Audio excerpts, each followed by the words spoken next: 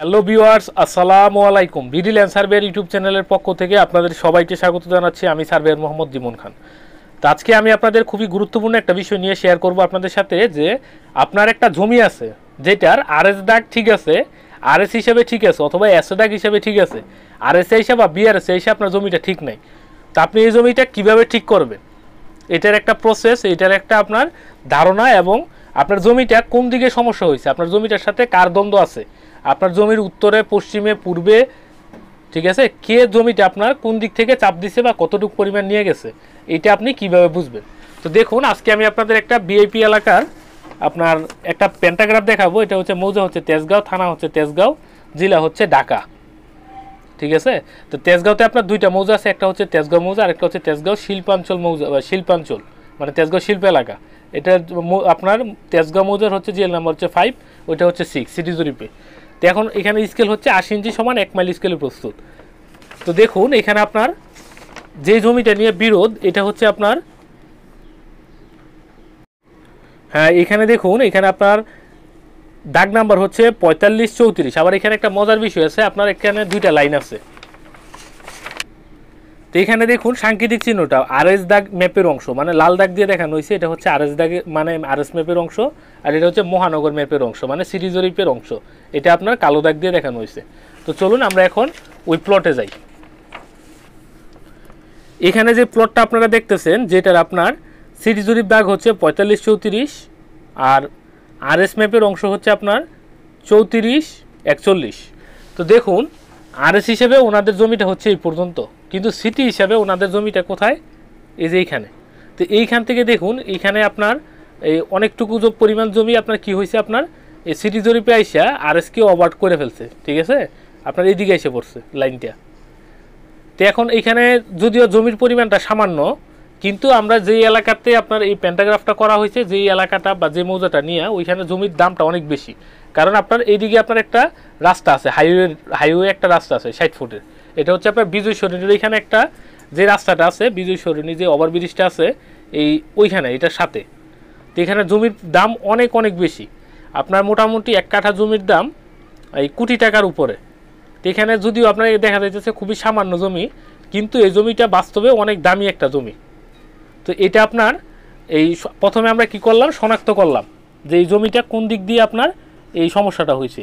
ঠিক আছে? আপনারা ভালো করে খেয়াল করুন। এখানে আপনার যেই প্যান্টাগ্রাফ দেখতেছেন তেমন প্যান্টাগ্রাফটা কীভাবে করা হয়? তো এটা সম্পর্কে আপনাদের একটু আরেকটু ধারণা দিয়ে দিই। যদিও আমার আগের ভিডিওতে ধারণা দেওয়া আছে, তা আমি আপনাদের এখন এটা সম্পর্কে ধারণা দিব। তো প্রথমে আমরা আমাদের একটা প্যান্টাগ্রাফ করার জন্য নকশা লাগবে। আমরা মোটামুটি মিনিমাম দুইটা নকশা লাগবে। তিনটা নকশা দিয়েও প্যান্টাগ্রাফ করা যায়। তো দেখুন, এটা আপনার একটা আরএস ম্যাপ জেলা হচ্ছে ঢাকা, থানা তেজগাঁও, মৌজা তেজগাঁও। যেটা জেল নাম্বার হচ্ছে ফাইভ সিট নাম্বার এখানে দেওয়া আছে, ঠিক আছে? আর এটা হচ্ছে একটা আরএস ম্যাপ কিন্তু দেখুন, এখানে স্কেল দেওয়া আছে আশি ইঞ্চি সমান এক মাইল স্কেলের প্রস্তুত। তো আমরা অনেকে সচরাচর আমরা যারা আমিনশিপের কাজ করি বা সার্ভেয়ারের কাজ করি ম্যাক্সিমাম মানুষ মনে করে যে আপনার এই আশি ইঞ্চি সমান এক মাইল স্কেলে শুধু বিআরএস বা সিটি জরিপ নকশা হয়েছে, কিন্তু আসলে ভুল। ঢাকাতে আপনার এই অনেকগুলো মৌজাতে আপনার আশি ইঞ্চিতে আরএস ম্যাপ হয়েছে। দেখুন, আমি আপনাদের এটা প্রমাণ দিই। সরকার কর্তৃক প্রাপ্ত ক্ষমতা বলে উনিশশো বাহাত্তর থেকে উনিশশো চুরাশি সনে প্রস্তুত। আপনারা ভালো করে খেয়াল করুন, সালটা দেখুন, উনিশশো বাহাত্তর থেকে চুরাশি। তো ওই সময় আপনার ডাকাতে যে জরিপটা হয়েছে ওইটা আপনার আরএস ম্যাপ বা আরএস জরিপ, ঠিক আছে? তা আরএস ম্যাপটা কিন্তু আশি ইঞ্চিতে করা হয়েছে এই যে দেখুন, উপরের দিকে আপনারা আবার কর্নারটা ভালো করে খেয়াল করুন। দেখুন, এখানে আপনার আশি ইঞ্চি সমান আশি ইঞ্চিতে এক মাইল, ঠিক আছে? এখন আমাদের এই প্যান্টাগ্রাফটা করতে যেটা দরকার হবে, এই যে প্লটটা আছে, দেখুন। আপনারা ভালো করে খেয়াল করুন, এই প্লটটা আরএস এর যে দাগটা আছে, এটা হচ্ছে আরএস এর দাগ, আর এটা হচ্ছে আপনার সিটি জরিপ দাগ। এই জায়গাটা নিয়ে আমাদের এই তুলনামূলক নকশা করতে হবে যে আরএস এ কী ছিল এটার সিটি জরিপে কী ছিল। তো এখন আমরা সিটি জরিপের এই দাগটার অবস্থান দেখব। এই যে দাগটা আপনারা ভালো করে দেখে রাখুন, এই দাগটা সিটি জরিপে কী অবস্থা আছে, এটা আমরা এখন দেখব। তো এটা হচ্ছে আপনার সিটি জরিপ নকশা। ঠিক আছে? এখানে আপনার থানা হচ্ছে তেজগাঁও, মৌজা হচ্ছে Tejgaon, JL number five sheet number উনিশ, জেলা হচ্ছে ঢাকা স্কেল হচ্ছে আশি ইঞ্চিতে এক মাইল তো এখন আমরা এটা সিটি জরিপ কীভাবে বুঝলাম? এটা বোঝার মূল বিষয়টা হচ্ছে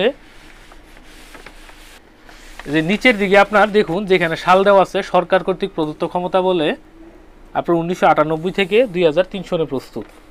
ঠিক আছে? তার মানে এটা হচ্ছে আপনার একটা সিটি জরিপ নকশা। তো এখন আমরা সিটি জরিপে প্লটের অবস্থানটা দেখে নিই। এই যে দেখুন সিটি জরিপে প্লটটার অবস্থান। তো এখন আমাদের, আমরা যে প্যান্টাগ্রাফটা প্রথমে দেখছি, এটা আপনার দুইটা ম্যাপের সমন্বয় করা হয়েছে। একটা হচ্ছে আরএস আর একটা হচ্ছে বিআরএস বা সিডি জরিপ তো এখন দেখুন, এখানে আমরা এইখান থেকে আমরা এই যে নকশাটা আছে, এখান থেকে আমরা এই সিটি জরিপের ইয়েটা নিলাম ফিগারটা নিলাম। নেওয়ার পরে আবার আমাদের যেই আরএস নকশা আছে আরএস থেকে আমরা ম্যাপের অংশটা নিলাম। নেওয়ার পরে আপনার দুইটা মিলিতভাবে, দেখুন,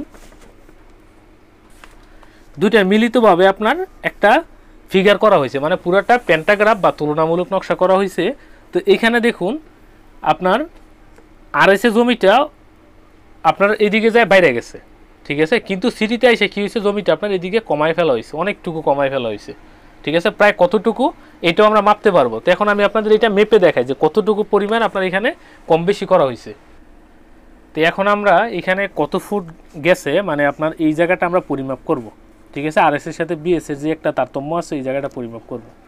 তো চলুন আমরা এখানে দেখি যে কত ফুট আছে। আমাদের যে প্যান্টাগ্রাফটা করা হয়েছে এটা কিন্তু আপনার আশি ইঞ্চি সমান এক মাইল স্কেলে করা হয়েছে। তো প্রথমে আমরা লম্বা বাহুটা দেখি যে এই যে এখান থেকে এই পর্যন্ত কত ফুট আছে। তো আমরা একটা ডিভাইডার ব্যবহার করতেছি আপনার প্রথমে কি করব এখানে দেখব কত ফুট আছে।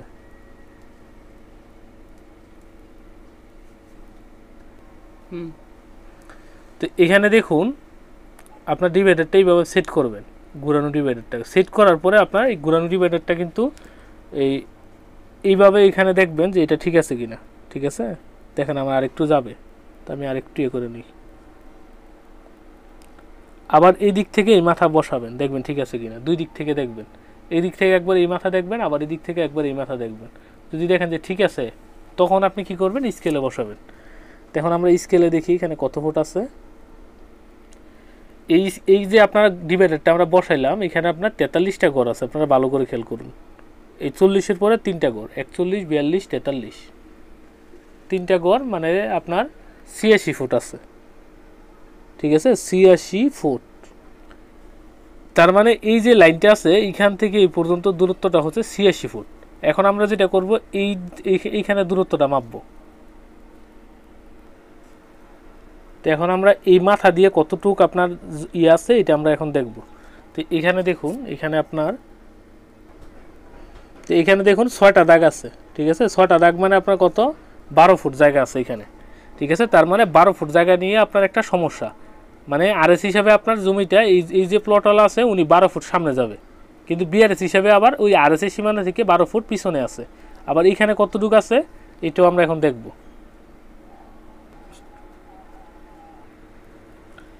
আমরা এখানে দূরত্বটা নিলাম, নেওয়ার পরে আমাদের যে স্কেল আছে স্কেলে বসাই দেখি। দেখুন স্কেলে কটা দাগ পাইছে? স্কেলে পাইছে আপনার এখানে আট ফুট জায়গা, ঠিক আছে? তো এখানে আপনার আট ফুট আর এখানে হচ্ছে আপনার বারো ফুট। তো এখানে কিন্তু খুব বেশি পরিমাণ জায়গা না, ঠিক আছে? একদিকে আট ফুট আর একদিকে বারো ফুট আর লম্বাটা হচ্ছে আপনার ছিয়াশি ফুট। কিন্তু এটা যে এরিয়াতে পড়ছে, আপনার, এটা আপনার এখানে জমির দাম অনেক অনেক বেশি। মোটামুটি এক কাঠা জমি কোটি টাকার উপরে। তো ওই হিসাবে আপনার এক পয়েন্ট জমির এখানে দাম আছে, ঠিক আছে? আপনার এই দিক দিয়ে আপনার যে বিজয় সরণি, যেই আপনার ফুট ওভার ব্রিজটা আছে এই দিক দিয়ে আপনার শুরু হয়েছে এটা। আপনার এই এদিকে অনেকগুলো বিল্ডিং আপনার ভাঙা পড়ছিল তখন, আপনার এই যখন আপনার এটা ইয়া হয়, ওই এই দিক দিয়ে আসছে আপনার। এই দিক দিয়ে আপনার অনেকগুলো ভবন ভাঙা পড়ছে মানে একর করে নিয়েছিল নিয়েছিল আপনার, এই দুই হাজার সাতাশ সালের দিকে। কিন্তু ম্যাপটা প্রস্তুত হয়েছিল দুই হাজার তিন সালের দিকে। তো এখানে কিন্তু আপনার এই বিজয় সরণির সাথে ষাট ফুট রাস্তাটার জন্য এখানে প্লটগুলোর দাম অনেক অনেক বেশি। তো দেখা যায় আপনার এই এক এক শতক জমি বা এক এক কাঠা জমি আপনার কোটি টাকার মতো। ওই হিসাবে এক পয়েন্ট জমিও আপনার অনেক মূল্যবান। তো এই জমিটা নিয়ে আমরা অনেকদিন এখানে কাজ করছি। এখানে আপনার এই আশেপাশের অনেকগুলো প্লটের সীমানা নিয়ে অনেক দ্বন্দ্ব ছিল। তো এগুলো আমরা সলভ করছি। তো প্রথম দিকে আমরা যখন সিটি জরিপ হিসেবে মাপতে যাই, দেখা যায় আপনার এই উনি এসে পরে ওনার এখানে, উনি জায়গা ওই যে ওনাদের বিল্ডিং ভাঙা পড়ে। মানে এক এক সময় মানে সমস্যা সৃষ্টি হয়। পরে আপনার দেখলাম যে আবার আরএস হিসেবে মাপলো সমস্যা তখন আমরা যেটা করছি, আরএস এবং পেন্টাগ্রা আরএস এবং সিটি জরিপ দুইটাকে মিলিতভাবে একত্রিত করে তারপরে আপনার এই এখানে যে সীমানা নিয়ে বিরোধ ছিল, এগুলো আপনার সমাধান করছি বা দ্বন্দ্বগুলা সমাধান করছি। এখন আপনার অনেকের কোশ্চেন আসতে পারে। তো এখানে দেখুন, আমি দুইটা লাইন দেখাইছি। একটা হচ্ছে আরএস লাইন আর একটা হচ্ছে বিএস লাইন দেখুন আরএস লাইনটা হচ্ছে এই দিক থেকে আপনার পুরাটা, ঠিক আছে? কিন্তু বিএস এসে করছে কি, আপনার এই দাগটাকে ছোটো করে দিছে, আর এটা আরেকজনের দিয়ে দিছে। এখন এটা যে করা হয়েছে, এখন আপনি কিন্তু দখলে আছেন আর এস হিসেবেই এখন এই জন্য কি আপনি বিএসএ যেহেতু আপনার কম দিয়ে গেছে, আপনি কি বিএসএরটা সাইডে দিবেন? কখনো না। কখনো আপনি এই জমিটা যে বাড়তি জমিটা, এটা যে আপনার উনি মাপে, যদি বিএস হিসেবে মাপে, তখন হয়তোবা উনি পেতে পারে জায়গাটা। কিন্তু কখনো আপনি এই কাজটা করবেন আপনি যেটা করবেন একটা ট্রেসিং বা একটা প্যান্টাগ্রাফ করবেন, করার পরে এই যে দাগটা, ধরেন আপনার এটার একটা দাগ নাম্বার আছে সিটি জরিপে আর এই দাগটা মনে করেন যে আপনার এই দিকে যায়, এখানে যায়, শেষ হয়েছে তো দেখুন, এটার একটা নির্দিষ্ট দাগ নাম্বার আছে। মনে করলাম যে এটার দাগ হচ্ছে আপনার চল্লিশ বত্রিশ, আর এটা হচ্ছে আপনার চল্লিশ তেত্রিশ।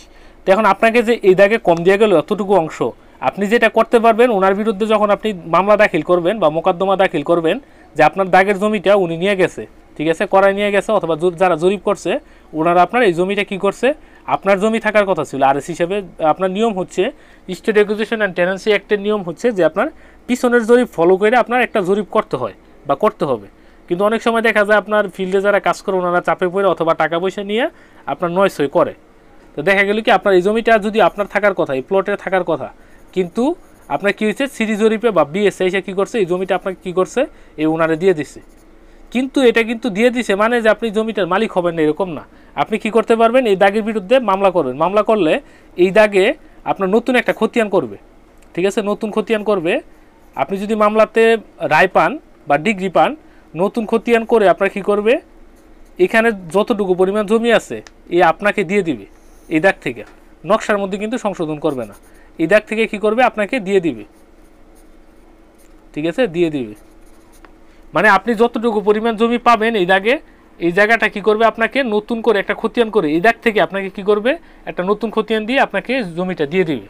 কিন্তু নকশার মধ্যে আপনার এটা দাগ দিবে না বা ইয়ে করবে না, নতুন করে নকশা সংশোধন করবে না। তা আশা করি আপনারা বুঝতে পারছেন। অনেকে কোশ্চেন করেন যে, স্যার, আমার আর জমি ঠিক আছে বিএসএস জমি কম, কমে গেছে, এখন আমি কি করব? আমি আপনাদের বলব, আপনারা কি করবেন? একটা প্যান্টাগ্রাফ করবেন প্যান্টাগ্রাফ করলে আপনার সুবিধা, দুই, তিন ধরনের সুবিধা পাবেন আপনি। যখন আপনার এলাকাতে আপনার একটা মাপজুপ হবে, তখন আপনি বুঝাইতে পারবেন, দেখুন, আমার প্যান্টাগ্রাফ লাইন কি বলতেছে? প্যান্টাগ্রাফ লাইন বলতেছে, এই জমিটা আরএস হিসাবে আমি পানা, আমি দখল করে খাইতে পারব। আর আমি, আপনি যেটা বলতে পারবেন, বিচার সালিসে বুঝাইতে পারবেন যে, ভাই, আমি এটা দিয়ে মীমাংসা করব বা এটা আমি কি করব? কোর্টের মধ্যে এটা দাখিল করব। দাখিল করে এই জায়গাটা আমি এই সংশোধনের জন্য দরখাস্ত করব। তো ওই ক্ষেত্রে কেউ আপনাকে এটা নিয়ে মানে অন্যায় একটা আবদার মানে এই জমিটা যে আপনার ছেড়ে দিতে হবে এই বিরোধপূর্ণ জমিটা, যেটা আপনার মনে করেন যে আর এস মাপিয়া সেইখানে বিএস মাপিয়া সেইখানে, ঠিক আছে? তো এইটা কিন্তু আপনার কাছ থেকে নিতে পারবেন। আপনি প্যান্টাগ্রাফ দিয়ে আপনি কি করতে পারবেন? এই জায়গাটা আপনি যেভাবে খাইতেছেন, খাইতে পারবেন এবং প্লাস এটা যদি আপনি কোর্টের মধ্যে মানে অতিরিক্ত জেলা ম্যাজিস্ট্রেট আদালতে যদি আপনি দাখিল করেন, তো এখান থেকে আপনি ডিগ্রি নিয়ে এই দাগ থেকে আপনি একটা খতিয়ান নতুন করে সৃষ্টি করিয়ে আপনি সম্পূর্ণ সমস্যা থেকে দূরে থেকে আপনি জমিটা সমাধান করতে পারবেন। ঠিক আছে? আর আপনারা অনেকে বলেন যে, স্যার প্যান্টাগ্রাফটা কীভাবে করা হয় বা কীভাবে করব? তো প্যান্টাগ্রাফটা অনেকে পারে, কারণ আপনার এই প্যান্টাগ্রাফটার গুরুত্ব খুবই খুবই গুরুত্বপূর্ণ। তো আমি আপনাদেরকে বলতে চাই, অনেকে আমাকে বিভিন্নভাবে কমেন্ট করেন যে, স্যার প্যান্টাগ্রাফটা কোথায় করব? কীভাবে করব? তো আমি আপনাদেরকে, আমি একটা নাম্বার দিতেছি প্যান্টাগ্রাফের জন্য। যদি আপনাদের কারও প্যান্টাগ্রাফ করার দরকার হয়, তো আপনারা এই নাম্বারে যোগাযোগ করবেন, zero one eight three two four two one zero four six. ঠিক আছে? এই নাম্বারে তবে অবশ্যই সন্ধ্যার সন্ধ্যার দিকে ফোন দিবেন, সন্ধ্যায়। দিনের বেলা ফোন দিলে অনেক সময় হয়তো বা নাও রিসিভ করতে পারি। এই নাম্বারে ফোন করবেন আর আপনার একটা প্যান্টাগ্রাফ করার জন্য আপনার যেটা দরকার হবে, একটা হচ্ছে আর এস নকশা, তারপরে পিছনের নকশা, যদি আপনি দুইটা দিয়ে নকশা দিয়ে করেন, যে আপনার বিএস নকশা। যদি আর এস বিএস প্যান্টাগ্রাফ করেন, যে আর এস জমি ঠিক আছে বিএসএ ঠিক নেই, তখন আপনি কি করবেন? আর এস বিএস নকশা করবেন। ধরে আপনার এসএতে জমি ঠিক আছে এসএ নকশা, কিন্তু আর এস এসে জমি ঠিক নেই আর এস নকশা। এই দুইটা প্যান্টাগ্রাফ করবেন। ঠিক আছে? প্যান্টাগ্রাফ করলে সেম এরকম। এখানে দেখুন, এই যে প্রত্যেকটা জমির যে লাইন আছে, কোন কোন দিক দিয়ে জমিটা গেছে, কোন কোন দিক দিয়ে আপনার এই জমিটা কোন কোন উপায়ে গেছে বা কোন আইলে কতটুকু সরছে, সম্পূর্ণটা আপনি এই প্যান্টাগ্রাফের মাধ্যমে দেখতে পারবেন বা বুঝতে পারবেন। ঠিক আছে? আর এই প্যান্টাগ্রাফটা আপনি দাখিল করে আপনি এই কোর্টের মধ্যে মামলাও করতে পারবেন যে আমার এই যে দেখুন, আমি এটা ইয়ে করছি যে আমার এইদিকে আমি কি, আমার এইদিকে আমার জমিটা, ঠিক আছে? দেখুন, এইদিকে আমি জমিটা এই পর্যন্ত পাই, কিন্তু আমাকে যারা জরিপ করে, ওনারা আমাকে এইভাবে কম দিয়ে গেছে। তা আমি এটা মানি না, আমাকে এই দাগ থেকে আমাকে এই অংশটা আলাদা করে দিতে হবে। তেমন কোর্ট যদি আপনার দেখে যে আপনার ইয়াতে সন্তুষ্ট হয়, তখন আপনি একটা ডিগ্রি পেতে পারেন। ঠিক আছে? ওই দাগে আপনাকে নতুন করে একটা খতিয়ান করে দিবে। তা আশা করি আপনারা বুঝতে পারছেন। ঠিক আছে? তারপরে যদি কোথাও বুঝতে অসুবিধা হয়, তো অবশ্যই কমেন্ট করে জানাবেন। আমি যথাসম্ভব চেষ্টা করব আপনাকে আপনাদের রিপ্লে বা উত্তর দেওয়ার জন্য। তো সবাই ভালো থাকবেন। আসসালামু আলাইকুম।